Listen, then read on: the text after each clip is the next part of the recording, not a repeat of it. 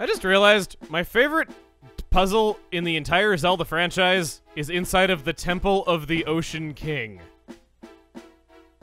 I don't know how to feel about my life anymore. Hey everybody, it's Chuggaaconroy. Welcome back to more Legend of Zelda Phantom Hourglass. Last time, we explored the surrounding areas to the Temple of the Ocean King, uncovered many a collectible, and then went back inside, finding the coolest sea chart I ever did see. It's of the Southwestern Sea, a place that we had already charted ourselves, but it was missing some details that the Temple of the Ocean King's secrets were able to tell us about. This time, oh, it's you. Special delivery. Watch out. Incoming. This is a letter from Salvatore. Here's what he says. Greetings, Link. No doubt you were waiting for a note from me, the master of diversions. So come by again. I mean, if you want. Play a game or two. What? Got better things to do. I'll be waiting. Where else am I going to go? I'll be the guy staring at the sea, bored out of my mind. Sincerely yours, Salvatore. Do wisdom gem. Radiates wisdom, but it can't be used like this. And that's the end of it. Got all that, sir? Then I'm out of here. And good riddance to you. You no longer have that sense of intrigue now that I know what you are thanks to the comments, so, um, sorry, buddy, you have no redeeming qualities anymore. We, I don't think, really have any more ship parts that we have yet to use. I'd like to check in at least a little bit. Nothing new. The Demon Chimney and the Pillar Handrail are the only ones that we don't have. We have a uh, thousand rupees, so it would not be out of the question to hello. Uh, you're back for revenge, huh? After what I said to you. This is a letter from Eddo of Cannon Island. Ahem. Ready for this? Hey, you Link, I got some very big news. Big, big news. See, I've been working on a salvage arm for a long time, but now it's ready. This gorgeous piece of machinery lets you pull up treasure from the seafloor. I'm gonna see if this thing is ready. Is ready. I'm gonna sell this thing to the first one who gets here. Ready, set, sail. Who's gonna be the lucky customer to claim it? Eddo. And that's the end of it. Got all that, sir? Then I'm out of here. I really wish Eddo was a girl so then I could make the bad joke of, hey, when it's your time of the month, does that make it the Edo period? okay, I'm really stupid. Anyway, I was saying that we have a thousand rupees. Uh, one day I'll get through this thought. Does your ship have a salvage arm? No. Why do you always want to know what my ship has? You can make a fortune by recovering lost treasure in the bottom of the sea. Gotta get a salvage arm, though. I bet old that. Why are you telling me that? I guess maybe if you didn't get the letter in time, then maybe it makes sense. Uh, just loves repeating stuff at you. Well, look what the crab dragged in. Get that third sea chart yet? Yes, and I had 8 minutes and 34 seconds to spare. Thank you much. Working on getting my time lower. We found a secret mark that we transferred to our southwestern sea chart. And we found out that the Temple of Courage will open with a sun key. I bet that new mark on our chart reveals a spot that's essential to our quest. I see. And uh, since seeing is believing, it's time to believe in old Linebeck. I say that we go out there. We're bound to find something. So, off to the unknown link. Then climb aboard! The open sea calls! Unfortunately for you, I got a race to win. We're not going to be heading off there quite yet, because we got stuff to do. I was saying that we have a thousand rupees, and it wouldn't be too out of the question to go and buy some gems, but I don't want to buy the one on Mercay Isle. I think that because of the point system, I want to give my money to Beedle before anyone else. However, because we also have a salvage arm in question, and that's going to be important for getting us a lot of things, I think that should be the first use of our money. The island is so majestic off in the distance. I love how that one looks. It looks so dramatic with the low angle, the really high cliff, and that that crane just hanging off of it. It's really memorable. Again, the islands look way better before you dock on them. okay, no mail this time. I'm actually kind of glad for that. This is the uh, fateful place where I met my arch nemesis. Hopefully, being polite and giving that guy the time of day does not cost me the race. Yes, yes, it's finally complete. The salvage arm will let you reach the bottom of the sea for sunken treasure. Is this guy's arm broken? He's got bandages on his head. This wow, when you consider that this guy does smithing, that's actually kind of dark. What? Aren't you the shrimplet who bought that cannon from me? And now you want the salvage arm?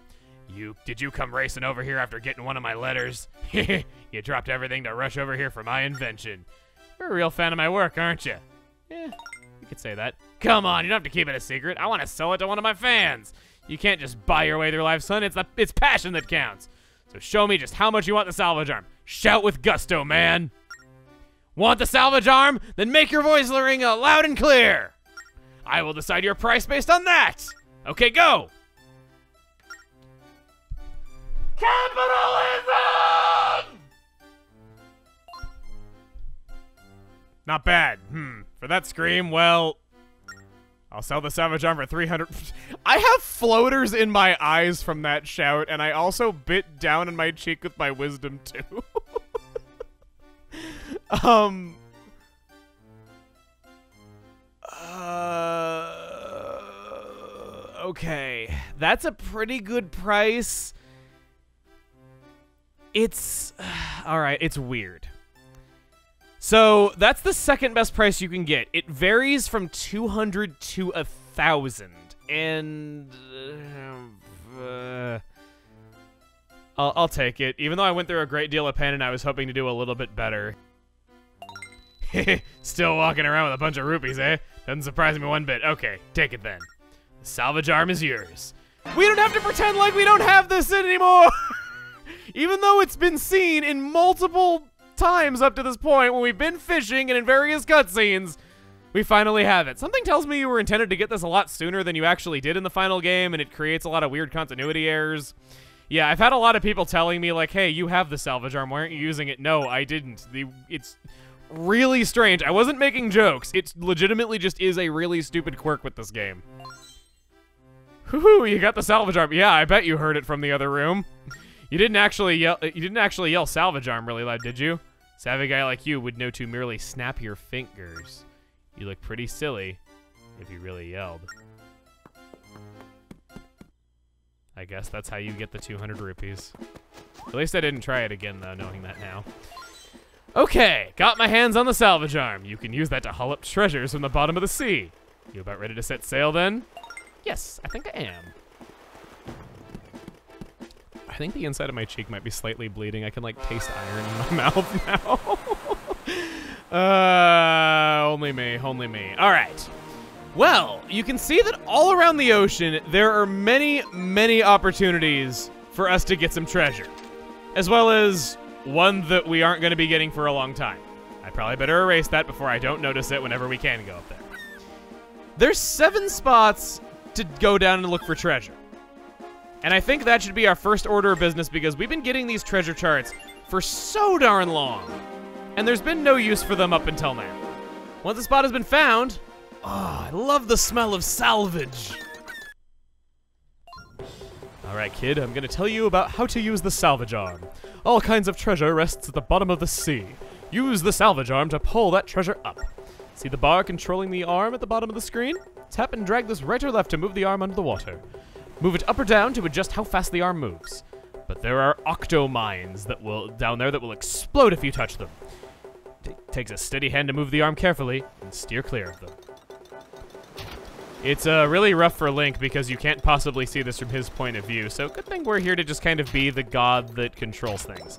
There are lots of rupees to collect while doing this. They are pretty much just green rupees, so I don't really want to go too far out of my way and risk damaging the salvage arm for this. It has essentially five hits on it, not heart containers, but just normal hits, hence the not heart appearance that they have. It is kind of fun if you're experienced to try to get all of the um all the rupees, but I just try to not go for it.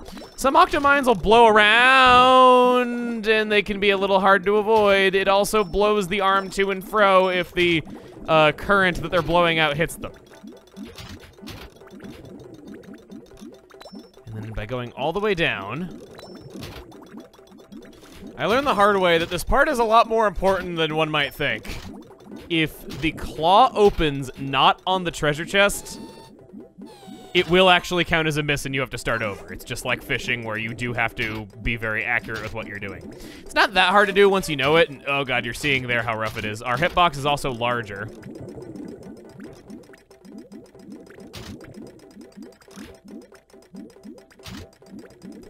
To be very steady, very careful. I don't want to be near the edges of the screen either because sometimes the Octomines come out from the sides of the screen and they can blindside you if you're hanging out around there too much. Uh, going up. Ah, who am I kidding? I'm gonna go for all the rupees.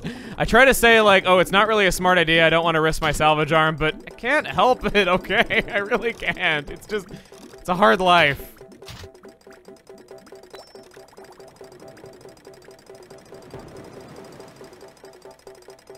Pretty fun little mini game. I think I do like the fishing a little bit better, but this definitely is no slouch itself.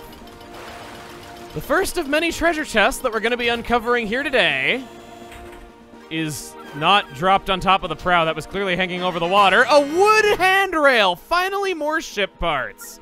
That's just one example of what can be gotten from this. On to number two.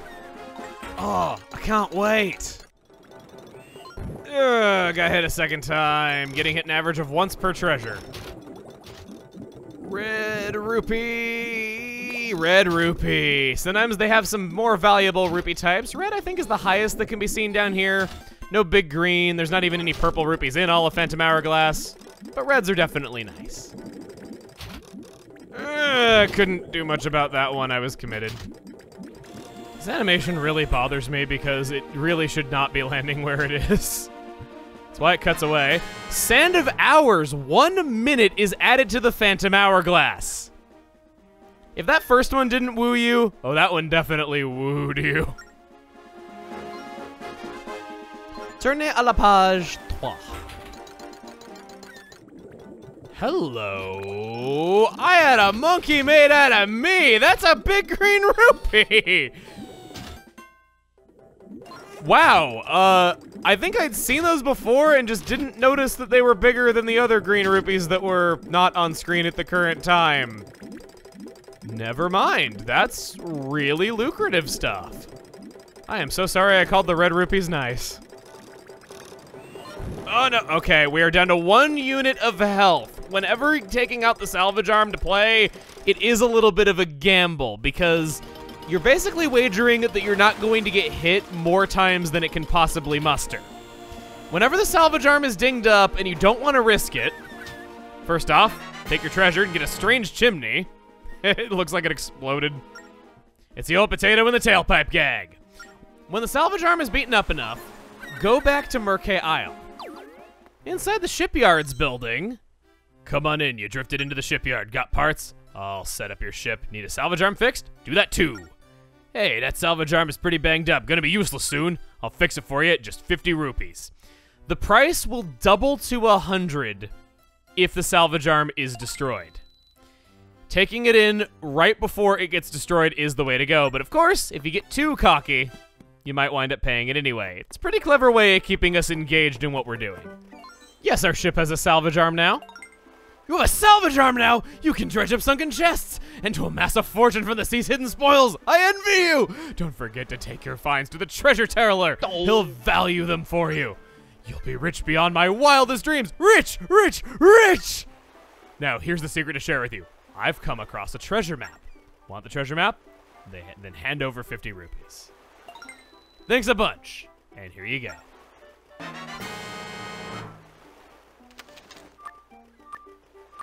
I'm gonna make note, uh, if it'll let me. No, it won't. They say X marks the spot. Sail there and use your salvage arm. I'm making a note of the 50 rupees that were paid in for this just to see if it was worth it after the fact. I don't remember what this particular one gives you because I don't really think about which NPC gave me what whenever I do it. But he was telling us about the treasure teller on the island. If we go, I believe it's into this pretty nice looking cottage. Wow, uh, I don't know if I've ever been in here before. This is nice place, whoever lives here. I'm sure there's photos of their loving family on the wall that I can't see because my scope of the world is through a filter that is 256 by 192 in resolution, but I'm sure it's nice. Hey, the treasure teller is finally open. Take your ship parts and other great finds there to have them appraised. Guy will also buy your stuff so you can really rake in the rupees in there. Wouldn't it be nice if you could swap treasure with friends too? Ah, someday. That whole treasure trading, the whole treasure trading thing came in at a very good time because now we can actually find out what all of those items do. This guy's face looks painful to exist. Cackle-dee-dee, I'm the teller of treasures. Bobbles Beauty. He doesn't have a bottom jaw. I'm sorry. I can sort tripe from treasure. Let me see your belongings. I'm sure there's got to be lots of spit on the ground. Oh, he does have a bottom jaw. Never mind. okay, it was just it was just very small underneath him. Let's start out with the pink coral. God, what's this? A common sort of thing, 150 rupees at best. What about the pearl necklace? A common sort of thing, 150 rupees at best. Dark pearl loop. Such a trifle! 50 rupees or no more! That's racist. Zora scale, 800 rupees! Hello! Got one of those. Uh, I'm gonna save the Goron Amber for last because that's been the kind of the big mystery. Ruto crown. I'd put that. Dang, I guess Princess Ruto does actually have fans. Who would have known? Now for the big one, the Goron Amber. This has been the mystery that's been with us for a long time. Really? All of that hype. You can see that there are two treasures that we have yet to obtain any of. Which ones am I going to sell? Well, the answer is none. I recommend only going to the treasure teller and parting with treasures when you need the money. As of right now, 800 rupees is pretty good for me, and my plan is just to sell items as I deem it necessary, not for the sake of having a more full wallet at any given time. I recommend that you do the same thing because being nice and so you don't get screwed over later, it is possible that these items can have other uses down the road. Give me my claw machine winnings. This one is a log prow, which looks very funny on its own. In the waters of the Northwestern, big green, big green, big green, big green all the wasted years of thinking those were just regular old green rupees and ignoring them being like, huh, no, I ain't risking my health for that. You bet I'm risking my health for a 100 rupees.